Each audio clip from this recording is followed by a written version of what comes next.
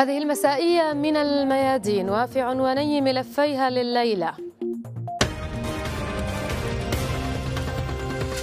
موسكو تتهم واشنطن وحلفائها بتأجيج الثورات الملونة وإشعال النزاعات الإقليمية وترفض تغيير أنظمة الدول ذات السيادة. واشنطن تخشى سباق تسلح مع الروس في سوريا قد يزعج إسرائيل وتعاظم خبرة حزب الله القتالية.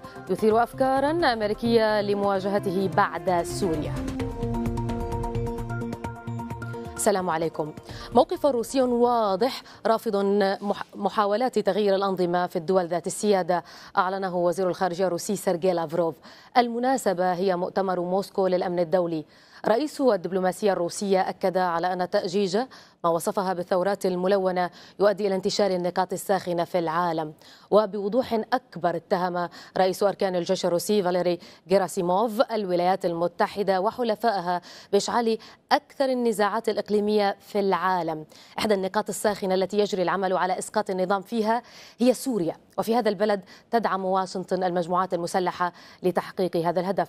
الرد الروسي يأتي عبر دعم عسكري مقابل تتراجع الولايات المتحدة خوفا من سباق تسلح لن تكون نتيجته لصالح مخططاتها خصوصا أن أسلحة روسية متطورة في المنطقة. ستقلق إسرائيل. والأخيرة تعيش هاجسا آخر هو وصول حزب الله إلى عتبة الجولان المحتل. فهناك جبهة تعلم إسرائيل أنها لن تبقى هادئة في أي حرب مقبلة. الحزب وبحسب تقرير لمعهد أمريكان انتربرايز أصبح تحت المجهر الأمريكي لأن تجربته العسكرية في سوريا راكمت خبرات ضخمة أتاحت لمقاتليه استخدام تقنيات عالية ستوجه ستوجه جميعها بحسب الخبراء الأمريكيين نحو إسرائيل من دون شك وعليه تدرس واشنطن خططا وافكارا لمواجهته في الفترة المقبلة. قبل كل ذلك وقبل الدخول في النقاش نذهب إلى موجز لأهم وآخر الأنباء مع الزميلة رولا بحسون. تفضلي رولا. شكرا لك رامية. مشاهدينا السلام عليكم. أكد مندوب سوريا لدى الأمم المتحدة بشار الجعفري أن الوفد الأمريكي أصر على تعديل المشروع الفرنسي كي لا يطال جنودهم والإسرائيليين. وفي لقاء مع الميادين أوضح الجعفري أن مشروع القرار السعودي والبريطاني يهدف إلى التشويش على الانتخابات الرئاسية في سوريا. المشروع القرار الذي يسمى بالسعودي والمشروع القرار البريطاني واي جهود أخرى قد تسمعون عنها قريبا. كلها تصب في نفس الهستيريا التي تحدثت عنها. ألا وهي محاولة التأثير على مجريات الانتخابات الرئاسية في سوريا. شهدت مدينتا طرابلس وبنغازي في ليبيا تظاهرات سلمية حاشدة للمطالبة بدعم الجيش والشرطة واستتباب الأمن في البلاد. المتظاهرون في ميدان الشهداء في طرابلس وأمام فندق بيستي ببنغازي طالبوا أيضا بمكافحة الإرهاب والتطرف والجريمة المنظمة وفرض سيادة دولة ليبية على حدودها.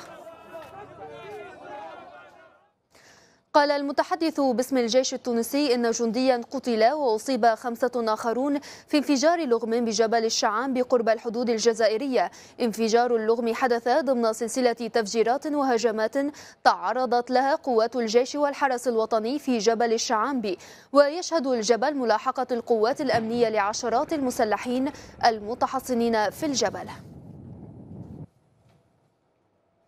أعلنت الشرطة المصرية أنها ألقت القبض على 15 عضوا من جماعة الإخوان المسلمين بتهمة إحراق أقسام الشرطة في الجيزة وبحوزتهم أسلحة نارية.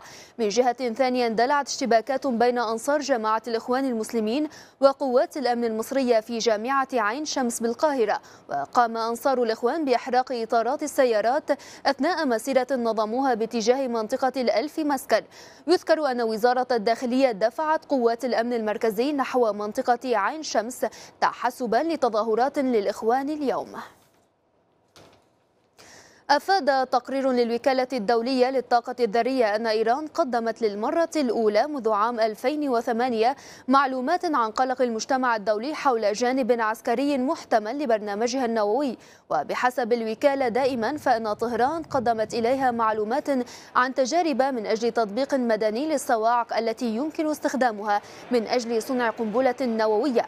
وكانت إيران قد وافقت على تناول قضية هذه الصواعق من طراز ABW قبل الخامسة عشر من أيار مايو.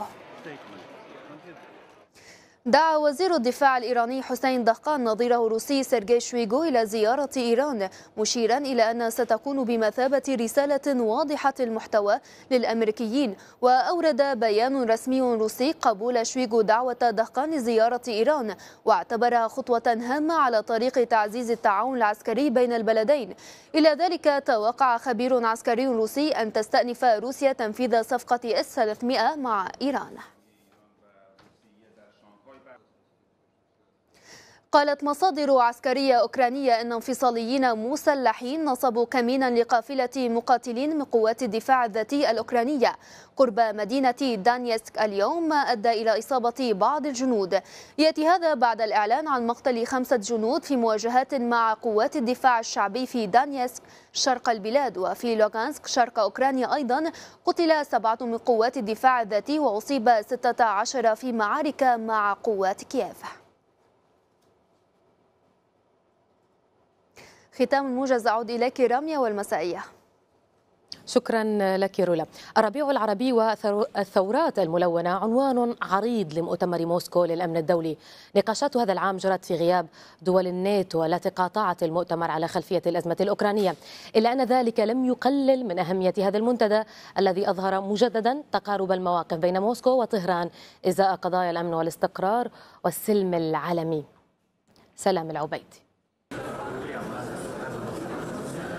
في غياب ملحوظ لممثلي دول حلف شمال الأطلسي على خلفية المواجهة بين روسيا والغرب في أوكرانيا ركز مؤتمر موسكو للأمن الدولي على إشكالات انتشار الثورات الملونة وعواقب الربيع العربي.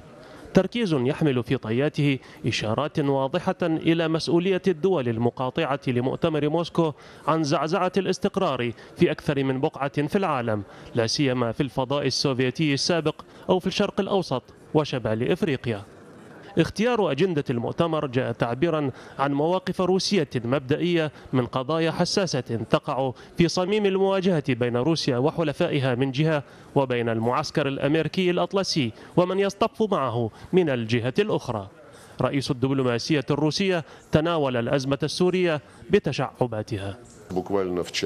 عند مناقشة المسائل المتعلقة بالفترة الانتقالية يجب أن يدور الحديث عن البحث عن حلول وسط على أساس التوافق وليس عن شرط تغيير النظام بلغة الإنذارات. خيار لافروف وجد صدى له في الكلمة التي ألقاها وزير الدفاع الإيراني حسين دهقان. من منطلق أناني وخدمة لمصالحه الضيقة يلجأ الغرب إلى تزييف مفاهيم الحرية والديمقراطية لإسقاط الحكومات الشرعية. إن هذه السياسة تهدد الأمن والاستقرار والسلم العالمي. أما رئيس أركان القوات المسلحة الروسية فاليري جراسيموف فقد أعطى تشخيصا دقيقا من وجهة النظر الروسية لمرحلة النزاع الراهنة في سوريا. سوريا أصبحت مرتعا لنشاط الإرهابيين والمتطرفين وللجنود الذين يبحثون عن الحظ.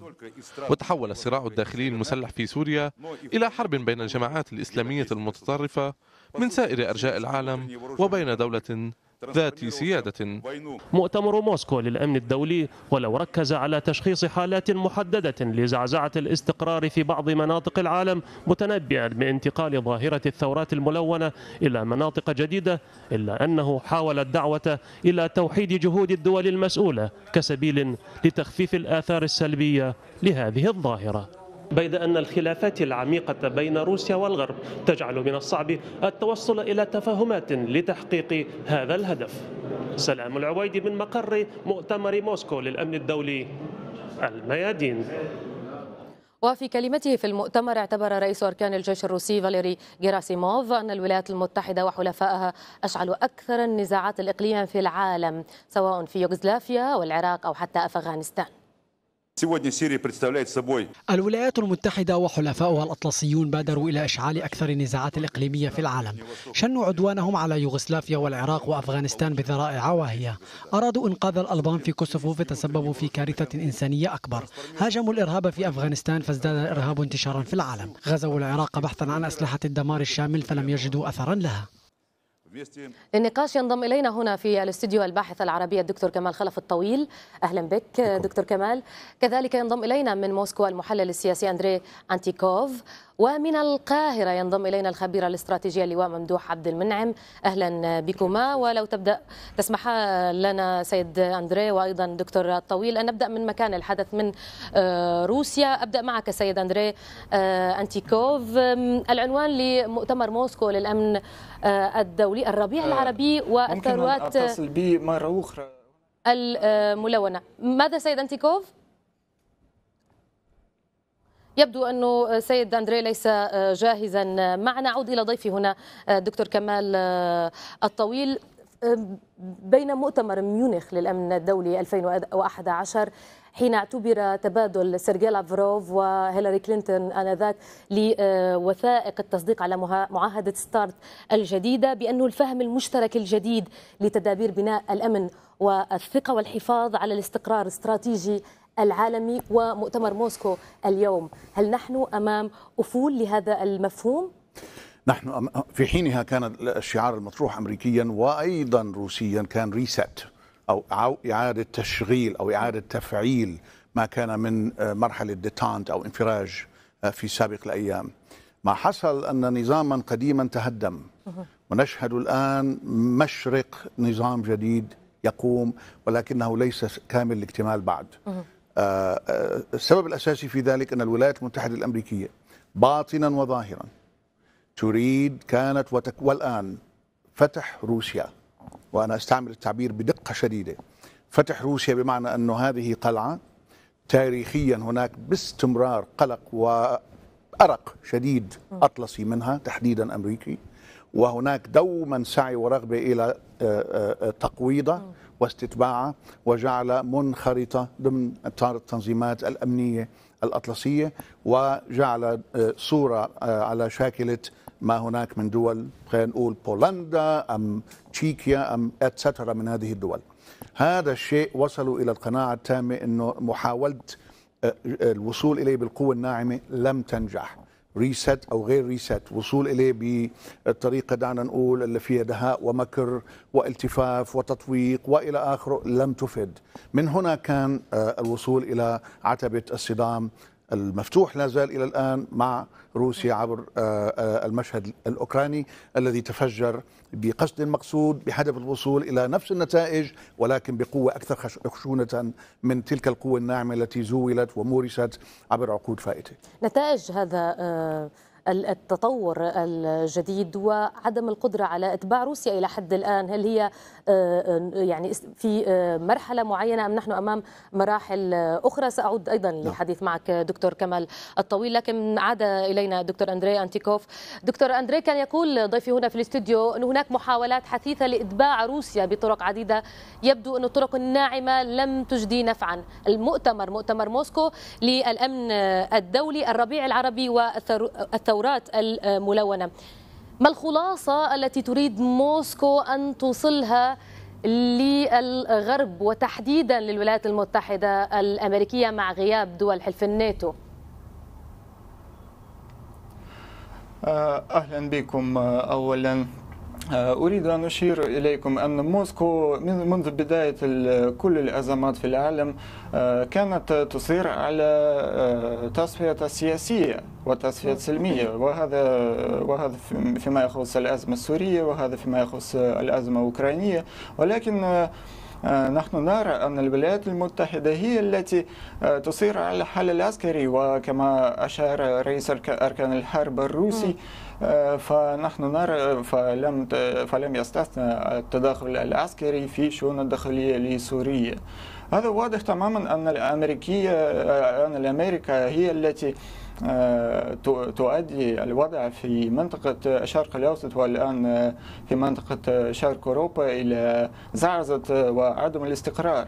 روسيا من من جهتها تريد استقرار في كل المناطق العالم وهذا واضح تماما أن أن أن أن روسيا قبل كل شيء على حدودها وطبعا أيضا في في سوريا لأنه الوضع في سوري في سوريا وأيضا في ليبيا نحن نرى أن هذه الأوضاع أدت إلى انتشار الإرهاب في العالم. حتى هذه اللحظة نحن وحتى نحن نعرف أن كثير من الشيشان يصلون كثير من منطقة تترسان يصلون إلى سوريا ليكافحوا مع الجيش العربي السوري.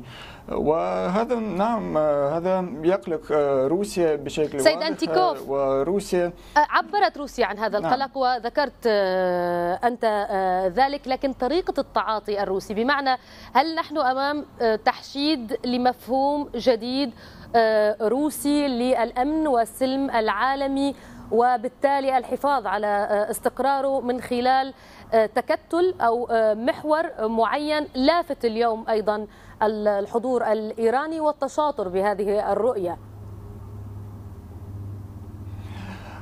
روسيا كما كما أشرت لكم روسيا تريد استقرار في العالم وطبعا روسيا مستعدة للتعاون مع كل الأطراف ايران الولايات المتحدة الأمريكية وقوات حتى في أوكرانيا و روسيا مستعدة لإجراء الحوار طيب. مع كل الأطراف العالم هذا واضح طيب سأعود إليك بالتأكيد سيد أنتيكوف إلى سيادة اللواء ممدوح عبد المنعم معنا من القاهرة هل لنا أن نتحدث عن أهمية لهذا المؤتمر سيادة اللواء عبد المنعم مع غياب دول حلف الناتو حتى ولو كانت الرؤى والأفكار التي تطرح على هذا المستوى من الخطورة؟ آه وحضرتك نعم هذا السؤال بدأ التخلي عن آه نظرية القطب الواحد في العالم لأنها أثبتت أنها لم تعد قادرة على حل مشاكل العالم ولم تعد أمريكا قادرة على القيام بدور الشرطي في العالم كله. ومن هنا بدأ المصالح والإستراتيجية الروسية تقف وتعلو صوتها ويعلو صوتها على المسرح الدولي نتيجة تضارب أو بداية الاختلاف على الرؤى في الأزمات الدولية التي يمكن أن تمس الأمن القومي وتتداعى عليه الأمن القومي في روسيا. نتيجة الأحداث القريبة من مصالح روسيا مثل دول الشرق الأوسط وبالذات سوريا والخليج العربي ومصر وليبيا مع ما يحدث في شرق أوروبا زي أوكرانيا. نتيجة بداية التضارب أو التعارض في المصالح لابد أن يكون هناك احتمالات مخاطر. احتمالات المخاطر اللي موجودة لدى الطرفين لابد أن تؤدي إلى الحرص والحيطة واستمرارية المعلومات الدقيقة الاستخباراتية التي استلزم معها انعقاد مؤتمر الأمن في موسكو. طيب نحن إذا لسنا أمام انقسام بالمفاهيم للامن الدولي أو استراتيجية الأمن الدولي. ده ليس انقساما ولكنه بداية تعارض في المصالح أمام فترة سابقة كان فيها التحكم في العالم من لدى قطب واحد. م. وحتى الرئيس فلاديمير بوتين أعلن امبارح والنهاردة أنه لم تعد نظرية القطب الواحد صالحة في العالم الآن. صحيح. وتعارض المصالح وعلو الاختلاف بين وجهات النظر الغربية والأمريكية ووجهة النظر الروسية والصينية كمان هذا التضارب أو التعارض لابد أن يكون نتيجته آه تحركات أو ضغوط أو تصرفات طيب ربما سيادة اللواء شكل هذه التحركات لو سمحت لي هو آه آه الأهم الآن خصوصا مع الحديث عن سباق للتسليح في سوريا وهو فحوى التقرير المقبل قبل أن أذهب إليه بتعليق سريع دكتور كمال طويل. هل يمكن أن أن يكون هناك تقاطع بالجملة انه تضارب المصالح مع الاستقرار استقرار الأمن الدولي؟ نحن أمام تهدم نظام قديم. أعود للتكرار. ونشوء نظام جديد لم تتضح معالمه القاطعه بعد. هي من شكل خيمتين جيوستراتيجيتين كونيتين. هناك خيمة أوراسية وهناك خيمة أطلسية. الأوراسية منها متعددة الأوتاد. هناك روسيا والصين وإيران وقد يكون لاحقا غيرهم من أوزان. في هناك صراع اسمه إعادة أو دعنا نقول الطور الثاني من الحرب الباردة. الذي فقط وصل إلى نوع من التهادن ما بين أعوام 91 والسنة الفائتة الآن تعود إلى الأوار من جديد إلى اشتعال الأوار بطرق وطرائق ووتائر مختلفة عما سلف. لذلك ما نراه هو عملية صراع. هو مفهوم السيطرة على الكون أصلا أو تفادي السيطرة على الكون من طرف آخر. هي عملية صراع. كيف ننظم الصراع؟ كيف يدور؟ أشكاله؟ وتائره هذا موضوع يعني مفتوح إلى قدرات الناس على كيف تجابه بعضها وكيف تواجه آه، بالمناطق اللي فيها تماس شديد. على سبيل المثال إن روسيا تقاتل في دوما السورية عن موسكو نفسها. بالتالي الآن في عندنا مناطق عدة من التوتر التي ليس لها ضابط واضح تماما أو يعني سقف محدود لأنه الصراع لم ينتظم بعد كما كان أيام الحرب الباردة لكن في الطور الأول. لكن أن نميز انه الموضوع ليس له بمف... ليس له علاقة بمفهوم الأمن الدولي بهذا المفهوم الموضوع بإنما تقاسم للقوى وإعادة توازن. ليس هناك من تقاسم وظيفي لا. هناك صراع على كل المناطق مفتوح ولم يتبلور في صيغ تسويات آه، محددة بعد لا بؤريا ولا مناطقيا ولا كونيا بعد. هلا ممكن نصل إلى أشياء لاحقا لكن الآن نحن في منطق من تحت منطق الصراع وهنا تكثر ربما أوراق الضغوط لا ندري إن كان التسلح أو التسليح في سوريا آه من جوانبها. سنتحدث عن ذلك وهو في صلب التقرير المقبل. ضيوفي تبقون معنا. في ظل الحديث عن رفع وتيره تسليح المعارضة السورية يتزايد تحذير المؤسسات الغربية من الوقوع في سباق تسلح مع روسيا التي تسبق الغرب في كسر التوازن. قاسم عز الدين. تلاشت المراهنات الغربية والخليجية على إغراء روسيا بالعقود التجارية أو بضمان مصالحها في سوريا كما سرت الأخبار في بداية الأزمة. فالمظلة الروسية في مجلس الأمن أثبتت أن موسكو تضع سوريا في إطار استراتيجي أبعد من الأحداث الآنية. في هذا السياق لم تحجم الإدارة الأمريكية عن توريد سلاح فتاك بسبب خشيتها من وقوعه في أيد غير صديقة لها فقط. إنما أحجمت كذلك خوفا من سباق تسلل تسلح في سوريا تسبقها فيه روسيا. حين مهدت واشنطن لعدوان محدود بحسب تعبيرها سارعت موسكو إلى تجديد الترسانة العسكرية السورية. في هذا الصدد. يؤكد خبراء التسلح في أمريكا أن الرئيس الروسي ينظر في توريد السلاح التركي والخليجي بعين المراقب لنوايا واشنطن في سوريا. في هذا السبيل عقدت موسكو اتفاقية صداقة وتعاون اقتصادي مع سوريا. أوكلتها إلى ديمتري روغوزين وهو أحد المعاونين السبعة للرئيس الذين وضعهم باراك أوباما على لائحة العقوبات. واشنطن تتهمه بأنه المسؤول عن المشاريع المتقدمة في صناعة السلاح. فضلا عن ذلك يختص روغوزين في شؤون الأمن وتوريد السلاح. المعلومات تذكر تزويد الجيش السوري بطوافات هجومية وتجهيزات عسكرية عالية التقنية لها تأثيرها على الأرض.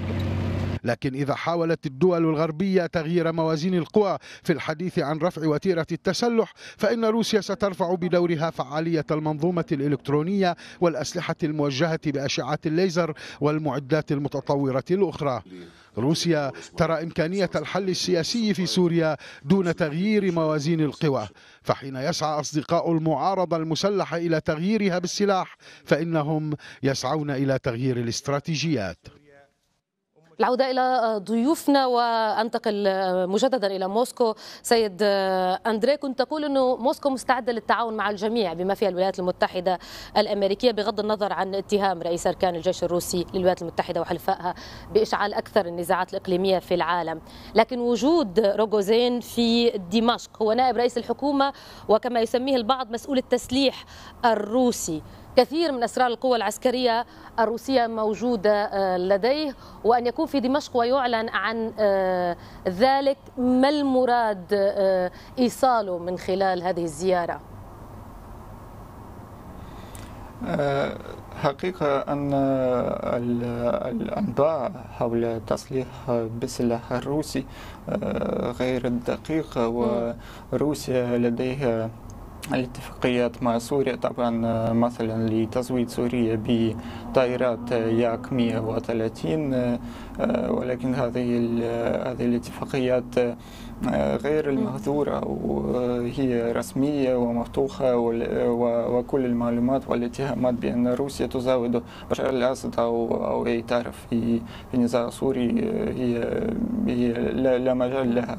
هذا هذا ليس دقيق. نحن قد سمعنا هذه المعلومات وهذه الاتهامات منذ حتى بداية الأزمة السورية ولكن ما نراه اليوم أن الولايات المتحدة هي التي تنسق أو تزود المجموعات المسلحة و يعني يمكن أن أقول لكم ليس. الم... كما يسمونها المعارضة المعتدلة بل هي هي المجموعات المسلحة الإرهابية الإسلامية جبهة النصرة والداعش والجبهة الإسلامية وإلى غيرها لا توجد في سوريا الآن أي مجموعة المسلحة معتدلة ما يسمى بالجيش السوري الحر لا مجال وهنا ربما سيد أندري لو سمحت لي هو لب الموضوع بأنه هناك رد فعل روسي البعض يتحدث عنه أمام هذه السعي لفتح يعني لتوريد السلاح بشكل كبير بالنسبة للولايات المتحدة الأمريكية عن طريق السعودية عن طريق تركيا ما استوجب ردة فعل روسية. إن لم نقل لكسر التوازن للمحافظة على التوازن لذلك سألتك عن شخص روغوزين لأنه شخص ليس بشخص عادي وليس نائب رئيس حكومة فقط روسي. هو من صقور السياسة الروسية وأيضا العسكرية. ما من دلالات لهذه الزيارة المعلنة؟ عفوا بس ممكن أن تكرار السؤال. لا ما من دلالة لزيارة روغوزين اللي دمشق الإعلان عنها يحمل دلالة عسكرية لربما؟ سيدة الكريمة حقيقة أنه كما ذكرتم كما ذكرت لك أن روسيا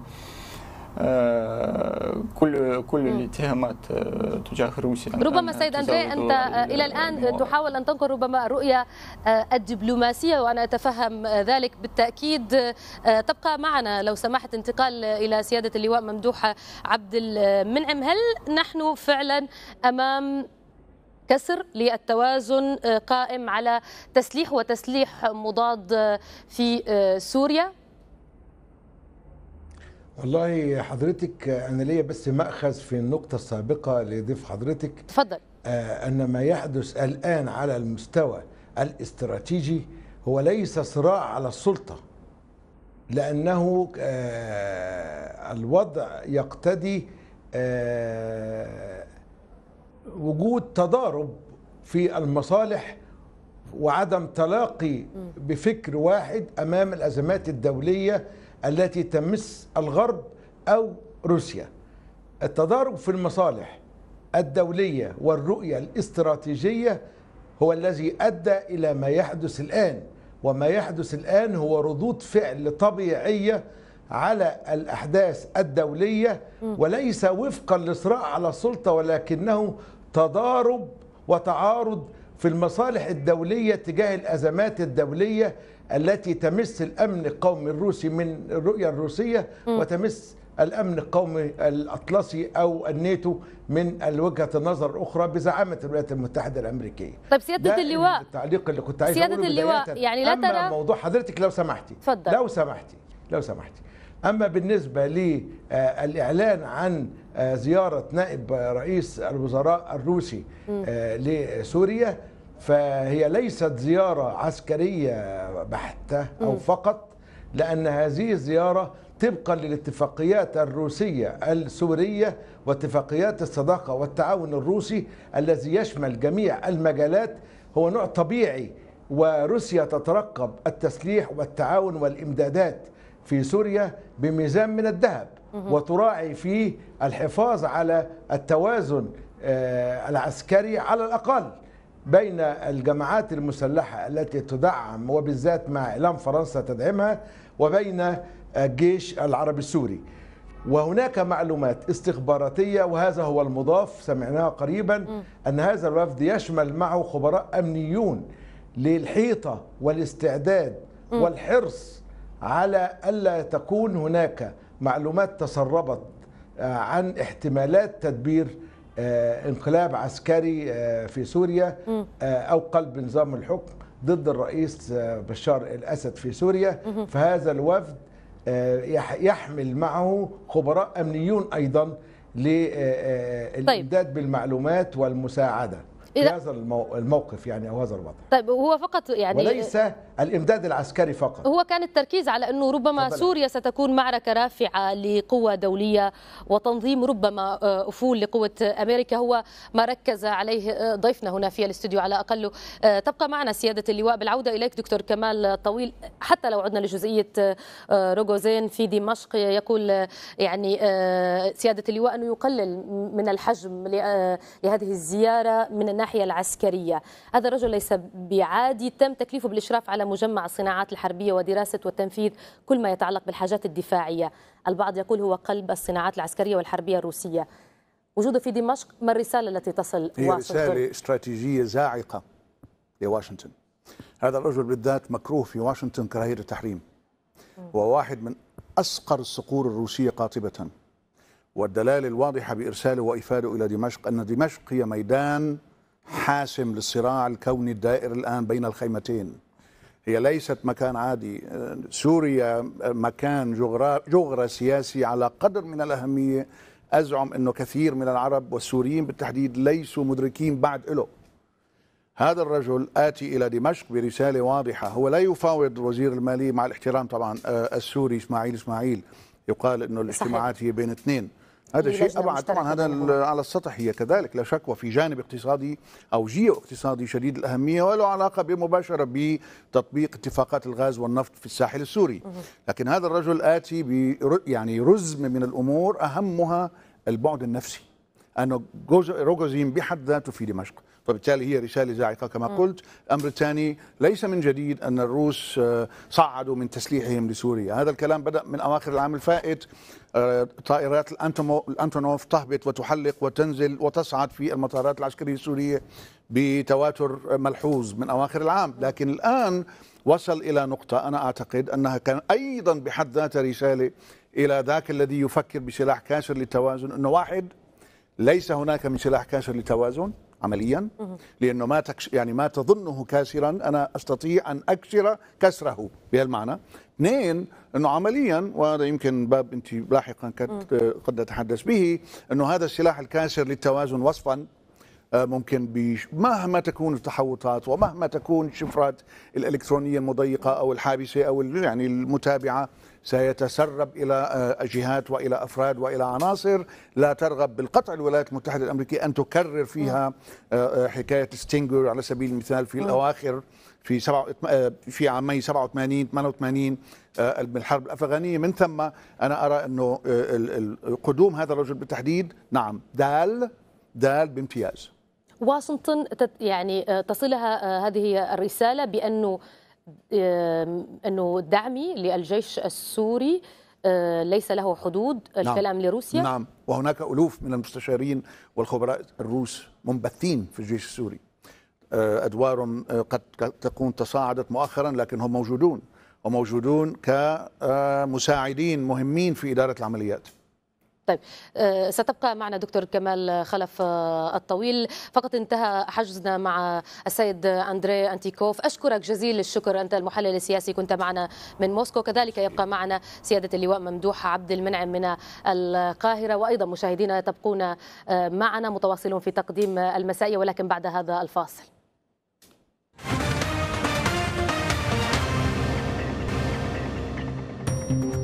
أهلا بكم من جديد في المسائية من الميادين. كتبت يديعوت أحرنوت اليوم أن مقاتلين من حزب الله يقاتلون في سوريا اصبحوا قرب الجولان على الحدود مع إسرائيل وذلك للمرة الأولى.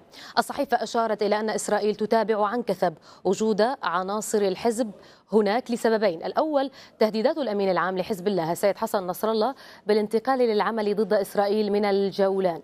والثاني قيام الحزب بإرسال عناصر تنظيم غير معروف في الشهور الأخيرة لتنفيذ عمليات ضد قوات الجيش الإسرائيلي هناك. التفاصيل مع تيما روماني. السلام عليكم. توقفت جهات إقليمية أمام انطلاق مناورات جينيفر كوبرا وحج قوات من الوسط والجنوب إلى الشمال على جبهة لبنان والجولان. وذلك بالتزامن مع تجديد محللين عسكريين إسرائيليين على التنبه إلى خطر جبهة الجولان إذا ما انزلقت باتجاه الحرب.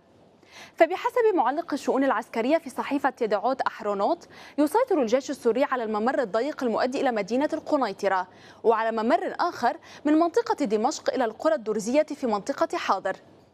المعلق العسكري يرجع هذه الإنجازات إلى أسباب أبرزها الإخلاص الذي يبديه الجيش السوري.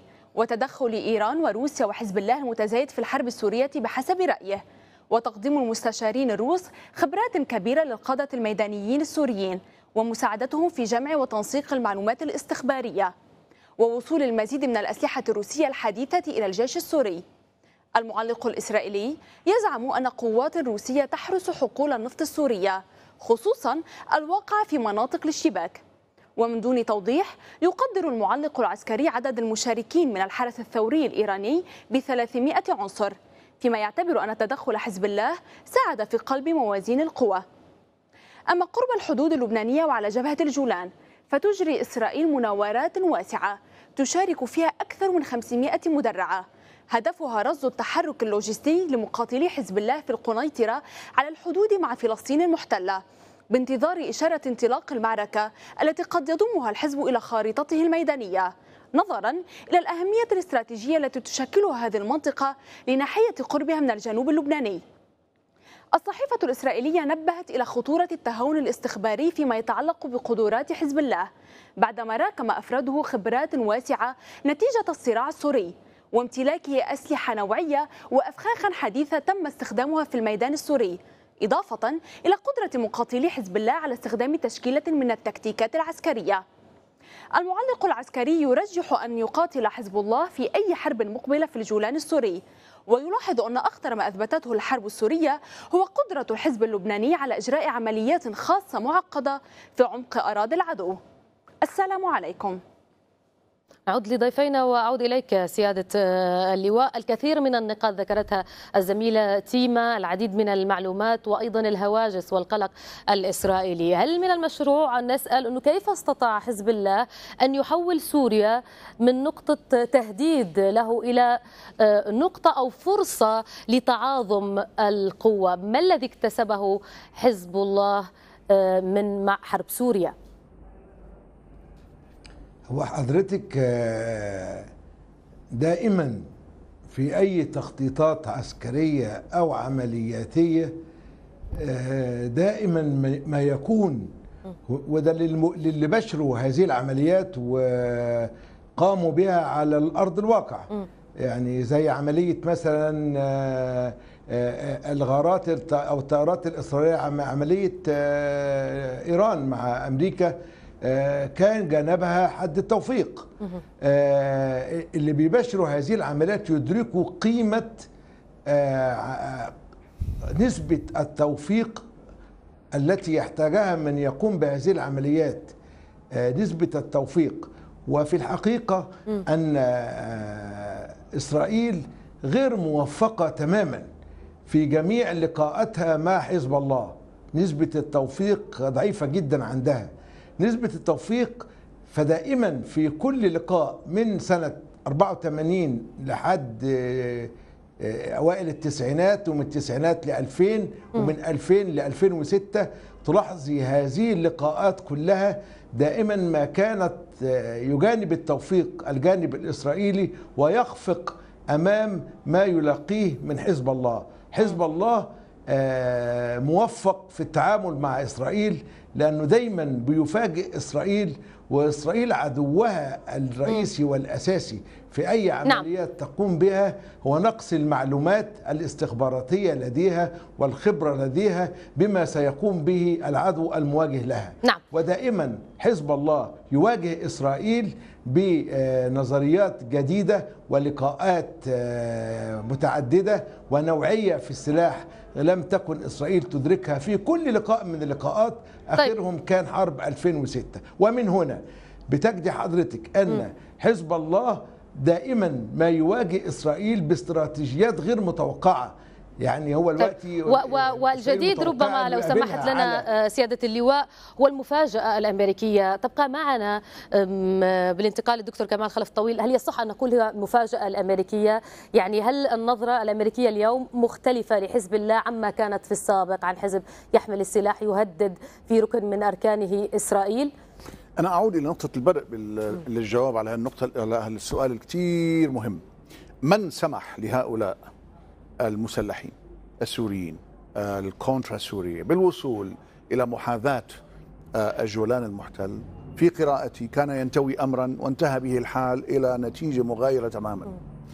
أرادوا بوصول هؤلاء الناس تمكينهم من الوصول وتشغيل على هذا الخط أن يكون هناك إذا ماذا؟ أن يكون هناك شيء مح يعني جيب صديق آه، طيب بين قوسين كما حال الجدار الطيب أيام لحد وبالتالي يتكئ على الخلفية الإسرائيلية وتتغذى منه إسرائيل بالحماية المضافة وأيضا بمصادر المياه المستجدة التي تحتاجها لبحيرة طبرية ما الذي حصل؟ الذي حصل أن من أتى إلى ذاك التحادي لشريط الجولان المحتل هم ليس فقط من أرادوهم ليصلوا هناك يعني ليس فقط الكونترا المعتدلة إنما أيضا جماعات جهادية على شاكلة النصرة آه، وخلافه. هذا الشيء آه، بالنسبة للولايات المتحدة وإسرائيل غير مرضي. أضف إلى ذلك والأهم والأهم أن ذلك استدعى بالضرورة بالضرورة وصول حزب الله والمقاومة الفلسطينية والمقاومة السورية داعمة للاثنين أو شريكة مع الاثنين مقاومة غير الرسمية أقصد. إلى تلك المنطقة. بمعنى آخر ما أرادته إسرائيل أمرا أو كينونة أصبحت آه، بشكل معاكس تماما.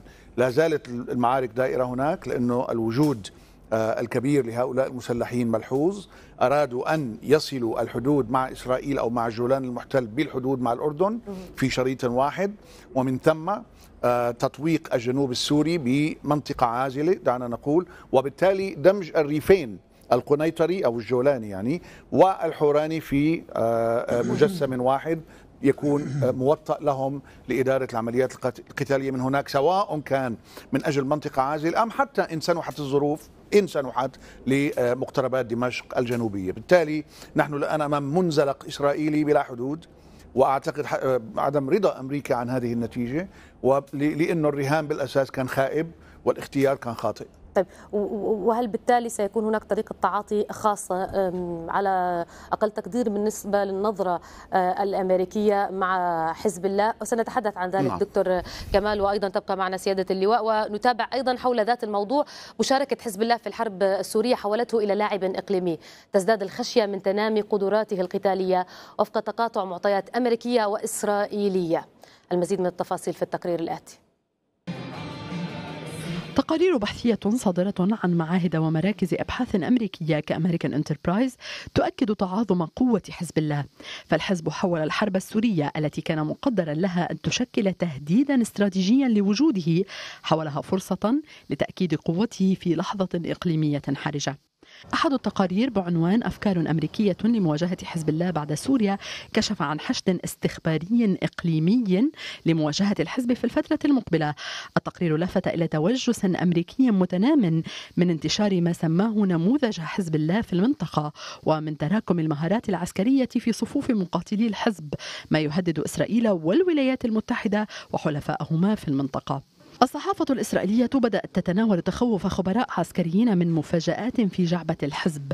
مفاجآت قادرة على صد الهجمات الإسرائيلية في أي مواجهة مقبلة وخصوصا مع امتلاك الحزب ترسانة صاروخية تتضمن صواريخ روسية متطورة مضادة للسفن وحيازته طائرات تجسس من دون طيار وأجهزة اتصال متطورة قادرة على منع أي اختراق إسرائيلي وفق صحيفة أحرنوت الإسرائيليون يتابعون بدقة تنامي قدرات الحزب جراء المشاركة في الحرب السورية. هم يلفتون إلى أن مقاتلي الحزب يستخدمون تكتيكات عسكرية كفرق الكوماندوس وينفذون عمليات خاصة معقدة في عمق المناطق التي يسيطر عليها مسلحون المعارضة السورية. كتفخيخ فيلا في القلمون قتل فيها خمسة قياديين للمعارضة المسلحة. لا عجب إذن في أن تكون مواجهة حزب الله في صلب المناورات الإسرائيلية الأمريكية الأخيرة. العودة إليك سيادة اللواء. هذه المتغيرات وأيضا التكتيكات والقدرات المكتسبة مجددا لحزب الله وأيضا السلاح والقدرة والترسانة الصاروخية المبهمة إلى حد ما آه، الموجودة لدى حزب الله. هل ستجعل من مواجهة على جبهات كانت ساخنة في السابق آه، قريبة أم بعيدة؟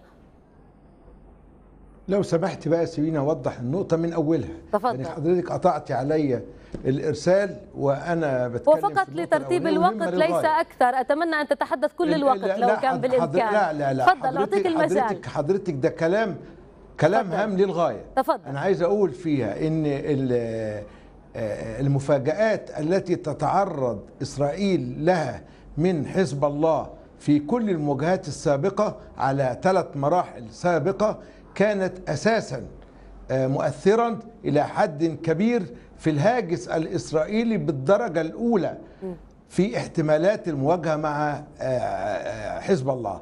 لأن العملية السابقة في الجولان الأخيرة كانت إسرائيل تعتقد بمعلوماتها الاستخباراتية أن هذه العملية انتقاما من إسرائيل على عملياتها في القلمون مع حزب الله. ولكنها اكتشفت أنها مقاومة داخلية من الجولان أي أنه بدأت تظهر في الجولان مقاومة آه، مسلحة آه، ضد إسرائيل إضافة إلى التنسيق الذي يجري حاليا على قدم وساق بين حزب الله وبين حماس في غزة لاتساع المواجهة مع إسرائيل واتساع هذه المواجهة آه، كما أعلنها حزب الله شاملة من الناقورة إلى الحدود الأردنية. هذه المواجهة على نطاق واسع حزب الله يحسبها تماما وبدقة من خبراته السابقة الطويلة ما يقرب من عشرين عاما. أمام إسرائيل يدرك تماما أن اتساع هذه المواجهة إسرائيل كانت تعتقد أنها آه، اتساع مساحة المواجهة دي يعني يؤثر على حزب الله بالسلب. ولكن حزب الله يحسبها تماما ويجري التنسيق لإعادة تنشيط المواجهة مع إسرائيل مع الفلسطينيين في حماس واتساع مجال الحركة لحزب الله من الناقورة حتى الحدود اللبنانية. واستلزم ذلك وهذا الإعداد وهذا الإعلان عن هذه المواجهة استلزم من حزب الله الاستعداد بأسلحة جديدة مثل الطائرات بدون طيار وسبق أن في حلقة كاملة أعلنت عنها أنها تستطيع حمل كاميرات وتستطيع التحليق لمدة طويلة وتستطيع حمل أسلحة تدخل إلى العمق الإسرائيلي طيب. بالإضافة إلى النوعية الجديدة من التسليح التي حصل عليها حزب الله آه، في آه، وخبرات العملياتية بتاعته في الأراضي السورية. من هنا كان القلق الإسرائيلي المتنامي.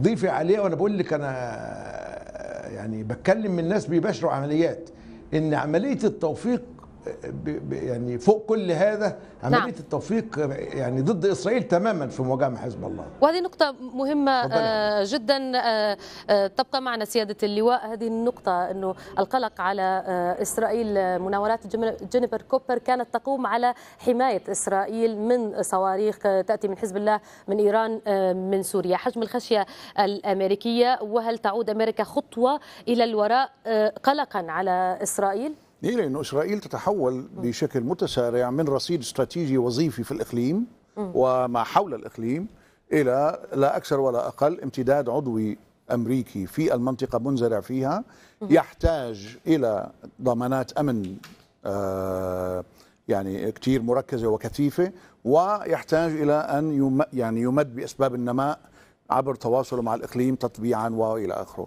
بالتالي أكيد الولايات المتحدة تسعى سعيا حثيثا لكي تؤمن أمان هذا الكيان وتجعله قابل للاستدامة والحياة على الأقل كامتداد عضوي لها. يعني هي لا تدرك تماما أنه لم يعد في القدرة الوظيفية على إملاء الإيرادات وعلى تصويب فوهة مسدس وعلى رؤوس الآخرين في الإقليم انتهى هذا الدور هذا الدور يتلاشى أمام تختلف الأهمية؟ وهذا الدور يتضاءل بأفول سيدها الولايات المتحدة. مع يعني دخولنا وولوجنا أكثر فأكثر في طور الأفول الأمريكي وأقول ليس السقوط.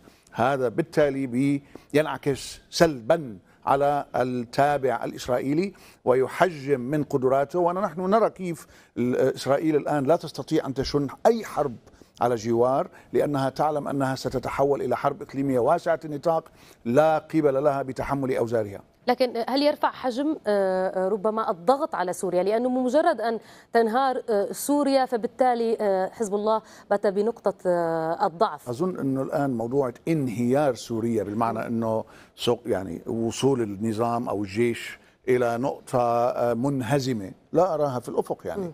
هذا الشيء أصبح ورانا تماما. يعني قصدي سيزيد أصلا حجم دخول حزب الله على المواجهة كسر بمعنى أم بآخر كسر حاجز سانكس بيكو على الغرب من سوريا وداعش في هاي المفارقة على الجانب الشرقي كسرت نفس الحاجز بطريقتها. نحن الآن أمام وضع إقليمي لحزب الله.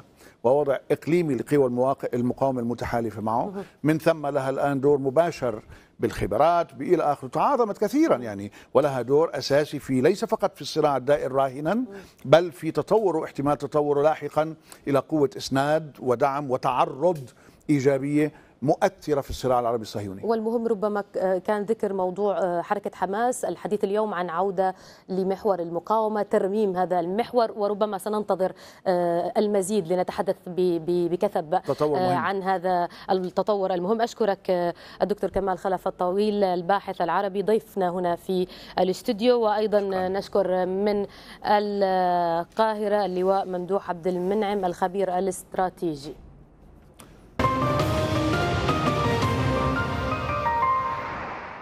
الاستعدادات الإسرائيلية لزيارة البابا إلى القدس متواصلة على قدم وساق وتترافق مع إجراءات أمنية مشددة. غراسيا بيطار. السجاد الأحمر يبسط في الأراضي الفلسطينية المحتلة. باب الفاتيكان يزور القدس. توضع اللمسات الأخيرة على الأرض وأيضا في الأمن والسياسة. فالإعلام الإسرائيلي حريص على تظهير المصلحة الإسرائيلية في إنجاح الزيارة البابوية. صحيفة إسرائيل هايوم تتوقف عند أهمية الكنيسة بالنسبة لإسرائيل في كل معركة دولية فحتى لو فقدت الكنيسة بعضا من موقعها في فرنسا وألمانيا إلا أنها وفق الصحيفة أساسية في دول عديدة أخرى كإسبانيا وإيطاليا والأرجنتين والبرازيل. لكن إسرائيل هيوم تتخوف من وجود من تسميهم متطرفين حمقى قد يهددون نجاح الزيارة ويحولونها إلى كارثة سياسية وإعلامية بتعرضهم للرمز الأعلى لمئات الملايين ممن يتعاطفون مع إسرائيل. أما كم يبلغ عدد عناصر الشرطة المولجين حماية البابا ووفده المرافق فثمانية آلاف شرطي. ويأمل هؤلاء بحسب الصحيفة رؤية الشمس تشرق الثلاثاء التالي للزيارة. وفي إطار حماية الزائر الكبير أيضا ذكرت الإذاعة الإسرائيلية أن الشرطة الإسرائيلية سلمت أوامر إبعاد عدد من نشطاء اليمين تحظر عليهم الوجود في القدس ومحيطها لمدة أربعة أيام. الإذاعة ذكرت أن هذه الخطوة اتخذت في أعقاب حصول جهاز الأمن العام الشباك على معلومات مفادها أن النشطاء المذكورين يعتزمون التشويش على الزيارة والإقدام على ممارسات استفزازية ومخالفة. للقانون من شأنها إثارة النعرات الدينية.